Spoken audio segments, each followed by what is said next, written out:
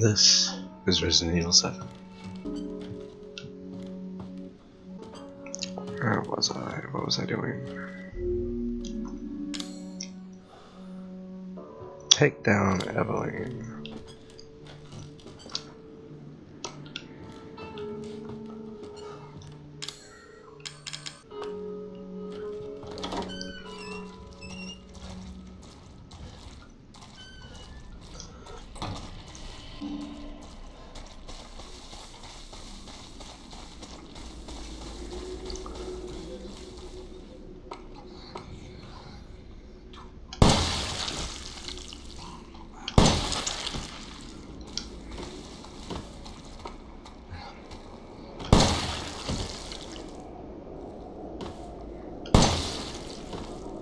Boom.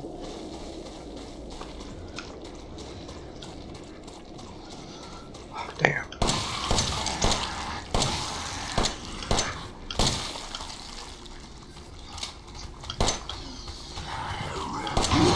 Oh shit.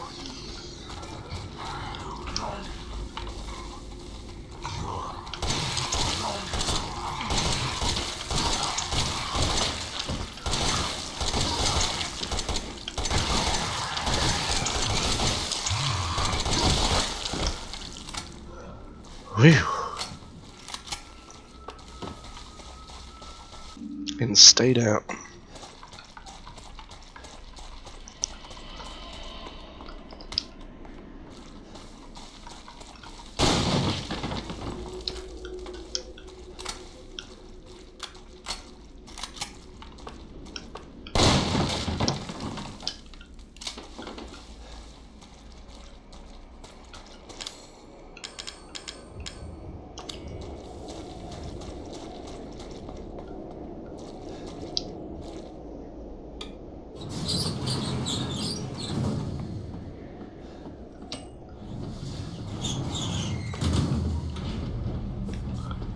Going down. Shocked all these elevators and shit still works.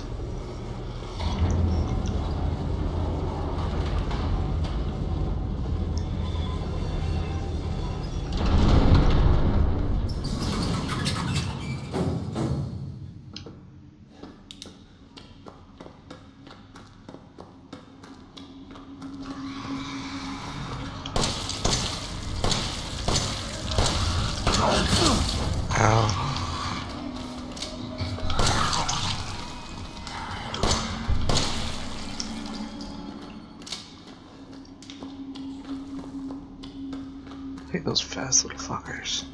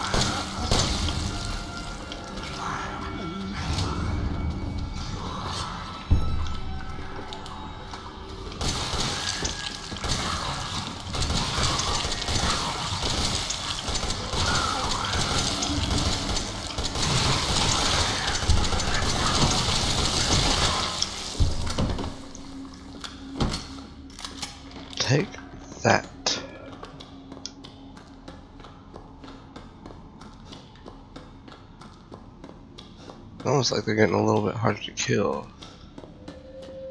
It's not a good thing for me.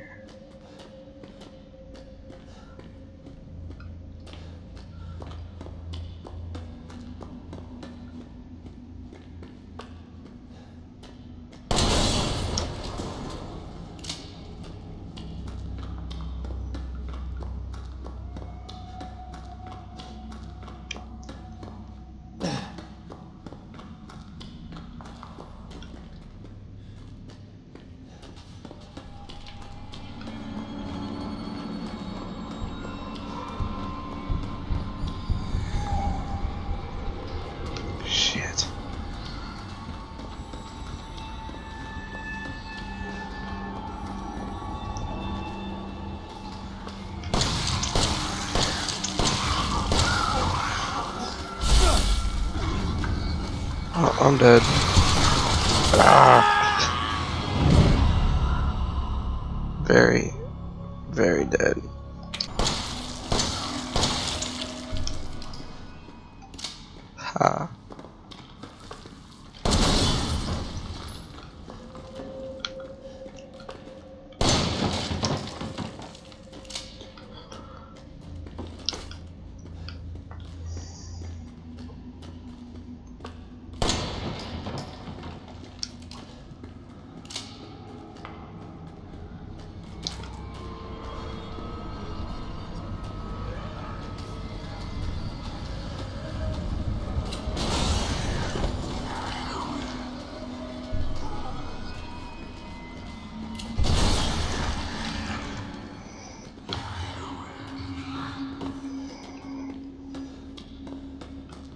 Ta-da!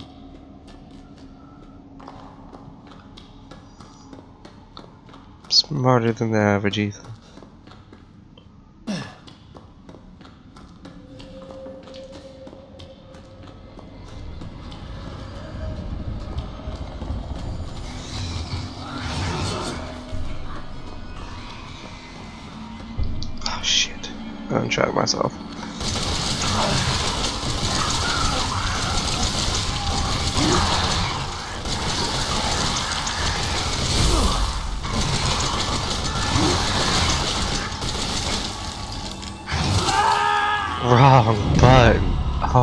God.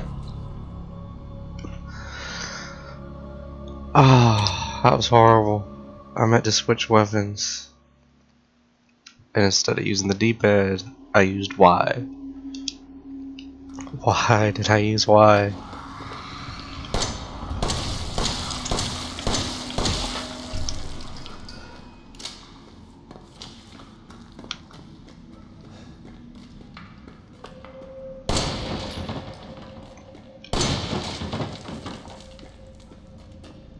Shotgun ammo.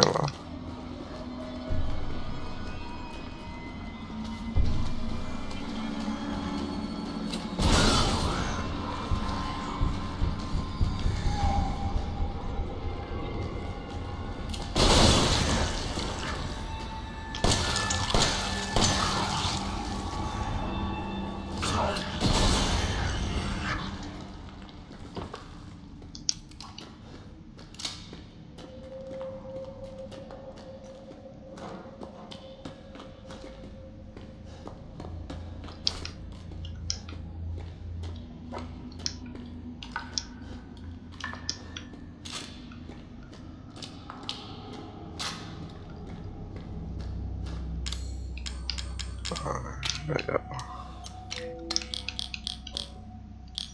This way with it.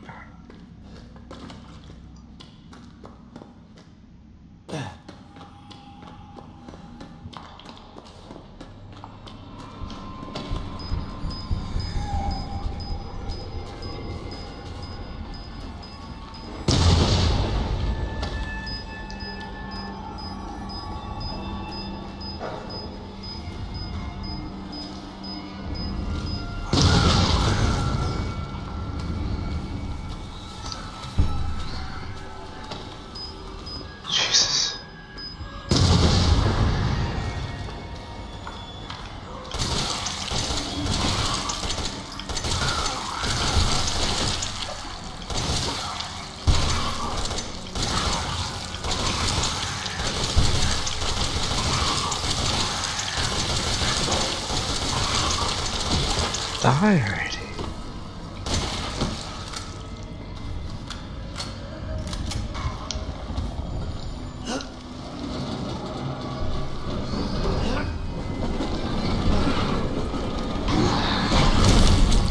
What the hell? Stay down, Lieutenant Dan. Jesus.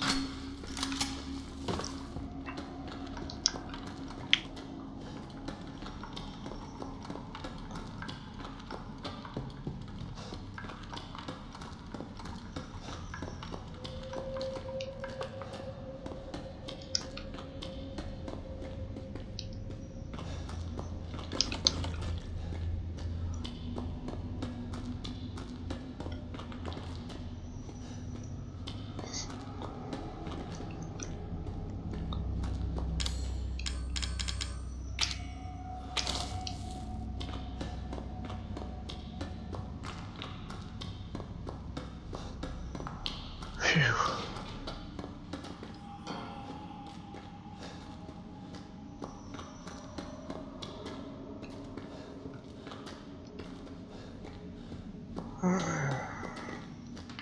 probably a thousand more this way.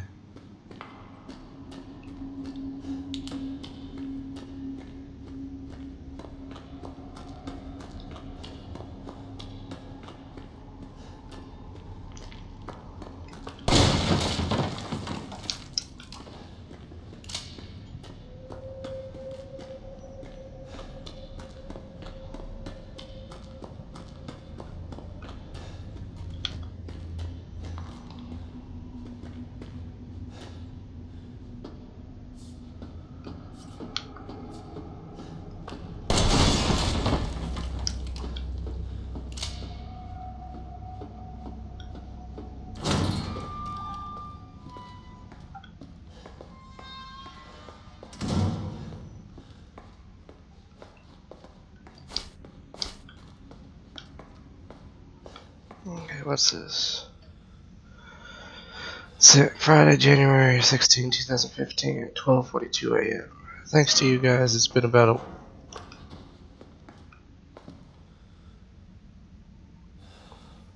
Could've swore I heard the door open.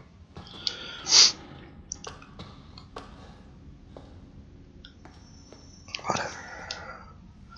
Thanks to you guys, it's been about a week since my head's been clear and back to normal, and she still thinks she's got me.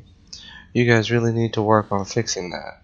Not only does she look like a little kid, but she's about as stupid as one too. Mom and Dad are still totally under their... I was wondering, is this whole family obsession something you guys programmed into her? It's kinda fucked up. So, Friday, November 4th, 2015. That bitch Mia is still somewhere in between Evie La La Land and reality. She gets pretty violent, so I locked her up in a cell. I thought maybe Eveline would get mad since Mia is her favorite and all. But she doesn't seem to care. She actually goes and visits her sometimes. She thinks Mia is her mommy. Like I said, your bioweapon is fucked up. Sent September 1st, 2016. 1:10 a.m. Eveline's family obsession is getting out of hand. She's making everyone kidnap more and more assholes off the street to add to her freak show of a family. Maybe she's getting tired of me and not coming around. But it's a pain in the ass for me because I gotta clean up the mess whenever someone new comes along. By the way, Evie is looking sick or something. Her skin is getting all wrinkly and she's getting gray hairs. Is that supposed to happen? It's almost like she's getting old all of a sudden. Who sent that? Had to be one of the bakers.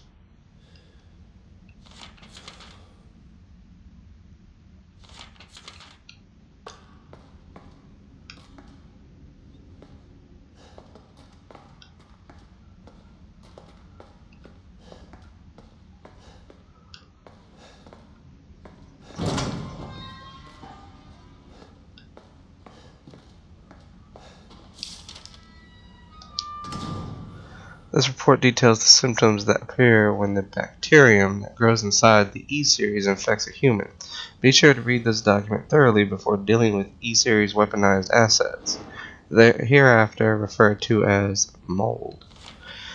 Initial infection. The mold ingests nutrients from the subject's body to propagate itself and slowly take over cells within the body.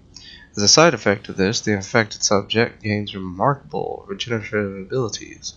During experiments, we removed arms and legs from test subjects and found that they were able to co-opt the amputated limbs in a matter of minutes. Mid-stage infection. Once the mold reaches the brain, the subject's thoughts become in tune with those of the E-series asset. The subject starts to hear things and experience hallucinations, and as soon comes under complete control of the E-series asset. If this state continues, the host will lose all sense of ego. Complete infection. After every cell in the body has been taken over by the mold, the subject begins to lose their human form. Physical mutations differ from case to case, but all results in him or her acquiring incredible physical strength containing a subject at this stage would be extremely difficult. Huh. Is there anything on the back? Nope.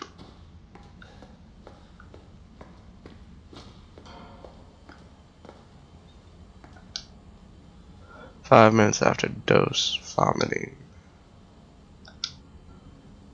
E necrotoxin E series dosage test. Ten minutes after dose, death. 12 minutes after dose, cell calcification. Huh.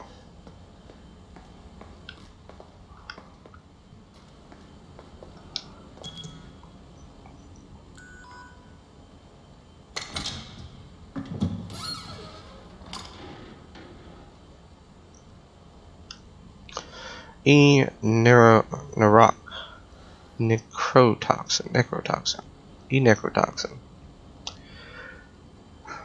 my eyes went blurry for a second. Destroy cells of any subject based on the E-Series bioweapon model, used only for disposal of E-Series assets. The toxin must first be stimulated before use. This by placing a sample of an E-Series cell into the uh, necrotoxin container.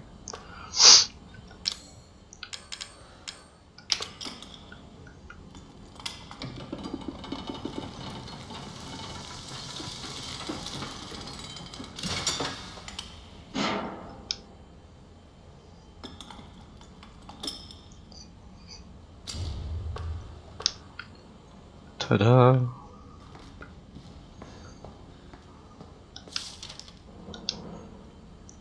Oh, wow, that's a lot.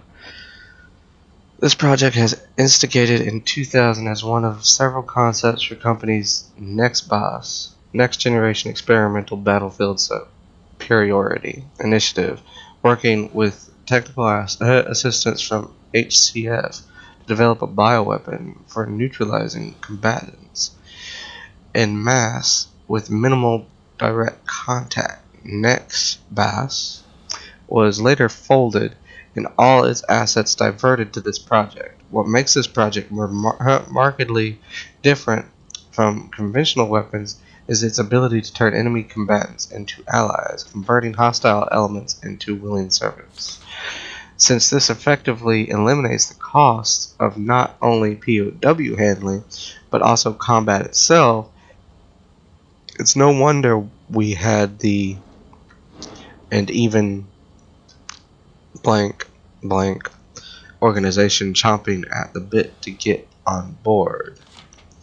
The project would never have ex existed were it not for the discovery in of the remarkably, uh, remarkably progressed variant, variant evolution fungus that we commonly term to term the mutum musite mutamicite whatever sate kate word I cannot pronounce.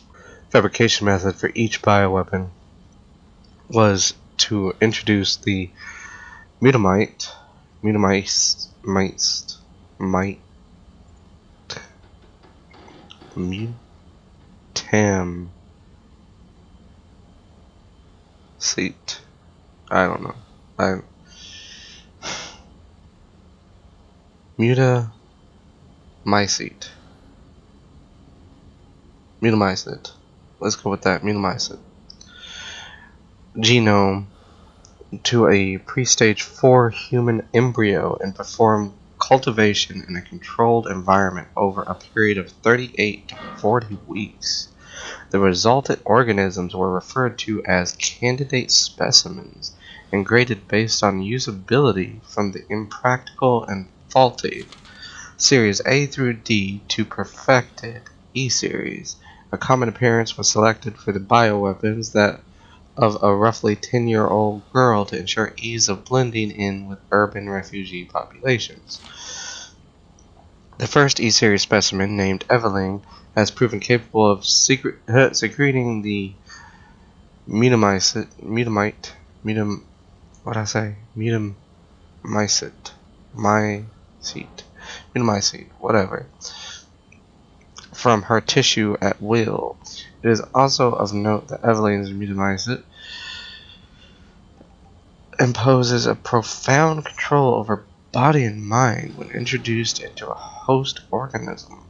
We still have a lot to learn about the mechanism by which Eveline achieves and maintains this control, but the working theory is that the vector is similar to the autoinducer pheromones used for quorum sensing in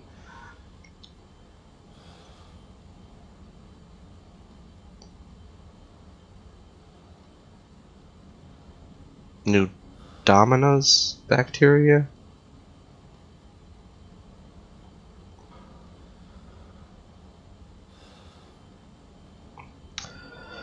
Bacteria.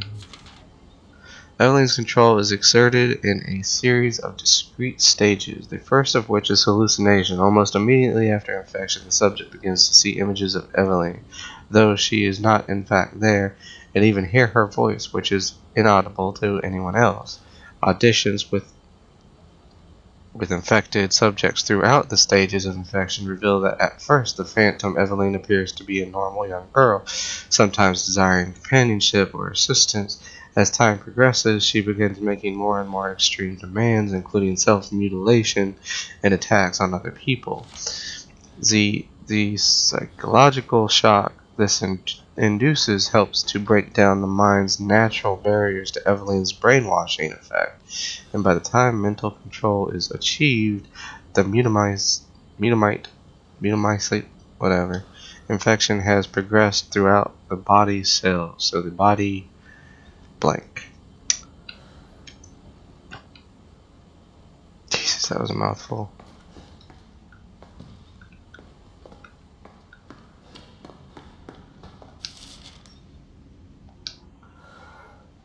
Another one.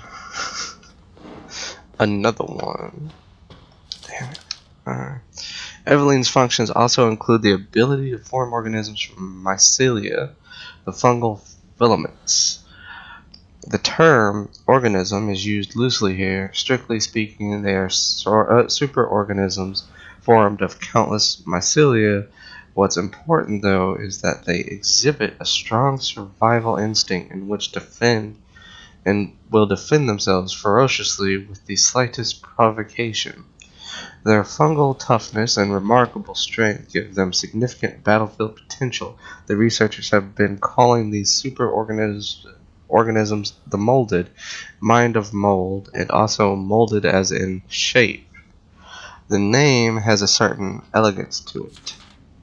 For the treatment of accidental infection, performing on samples of Evelyn's body tissue produces a unique fungal fungicide, fungicidal serum. Administering the serum to an infected subject will cause the mycelia to calcify, but if the subject's cells are already largely invaded, the serum will be fatal. Since the treatment window is so small, the serum primarily uses use is therefore disposal of infected subjects rather than a cure.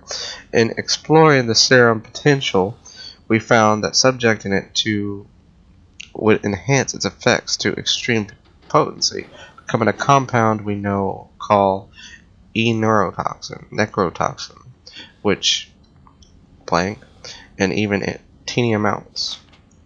What's been interesting to observe in Evelyn's behavior is her obsession with the concept of family. In experiments, we found in, on multiple occasions that infected subjects were compelled to act as her mother or father, treating her as if she were really their daughter. Why did she settle upon family as the theme for her mental control?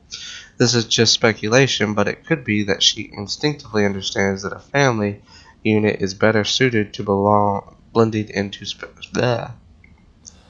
This is just speculation, but it could be that she instinctively understands that a family unit is better suited to blending into social groups than a lone girl. On the other hand, well, the sentimental sort might suggest that she's making up for a perceived lack of love in her quarantined upbringing, a parent's love.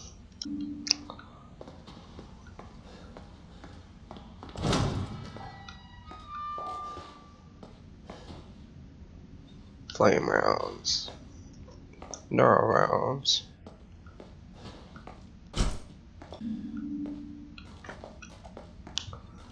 Okay.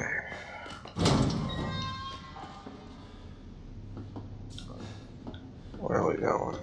What's that? Enhanced tandem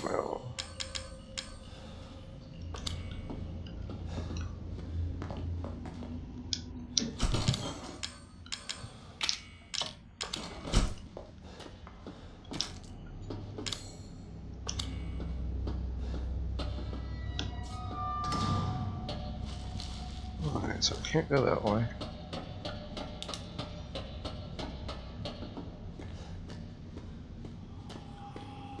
Can't go that way.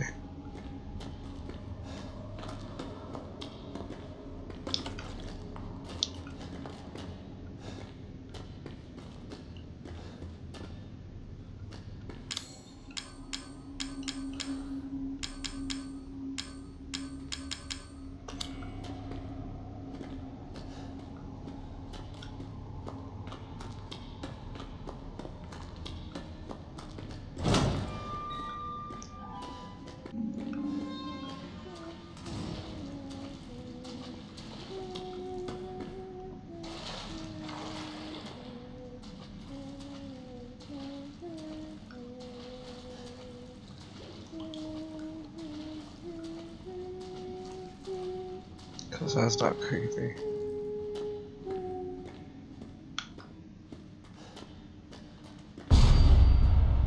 Hello, Evelyn.